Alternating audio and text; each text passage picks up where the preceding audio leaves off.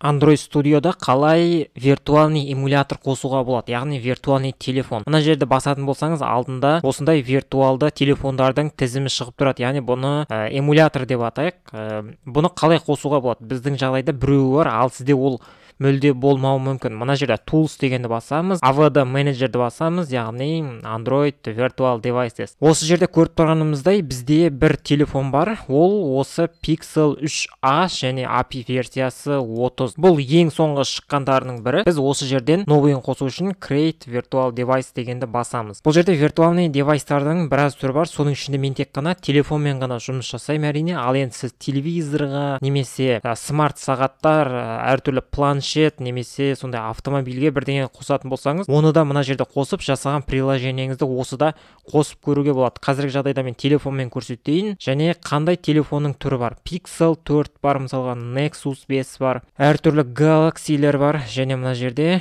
көлемі экранның көлемі бар. Және қанша DPI деген секілді осылардың барлығын көрсеңіз болады. Мысалға сіздің жасаған приложениеңіз телефон экраны кішкентай мысалға осындай телефондарда қалай көрінеді соны көрсеңіз болады. Мысалға мынада керемет көрініп мынада өте хреновый болуы мүмкін сондықтан тексеріп көруге болады. Қазір мен ә, pixel xl немесе жарайды pixel 4 таңдайық. Одан кейін next басамыз. Одан кейін бізге API яғни ішінде androidтың қай версиясы болады? Қазіргі жағдайда бізде android 11 бар ең соңғы шыққаны және android 10 бар 9 8 мысалға 7-ге 0 деген сияқты осының әрқайсысына жеке жеке қосып кейін соған не істеуге болады жаңағыдай? Программаны іске іске қосып көруге болады. Бірінші бұны біз қосу үшін осыны жүктеп алуымыз керек. Мысалға маған 29 дейік осыны даунлод дегенді басамыз.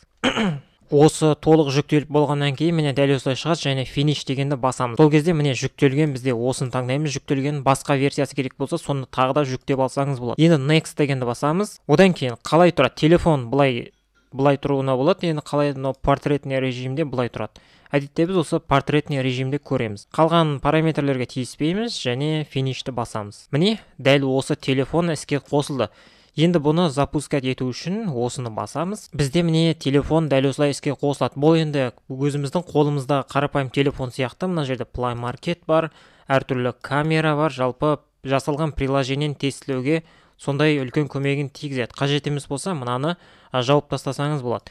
Енді осыда приложениені іске қосу үшін біз мына жерден сол устройствоны таңдауымыз қажет. Егер шықпай тұрған жағдайда осыны қайтадан жауып тастап қайтадан ашуыңыз қажет. Мен android студионы жауып қайтадан аштым. Сол кезде міне менде осылай шықты. Осыны таңдайсыз одан кейін приложение басатын болсаңыз мынаны дәл осы таңдалған телефонда ол іске қосылады.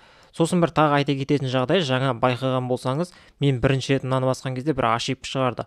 Егер одан кейін қосылып тұрған болса демек нормально ол android студионың өзінің қателігі болуы мүмкін.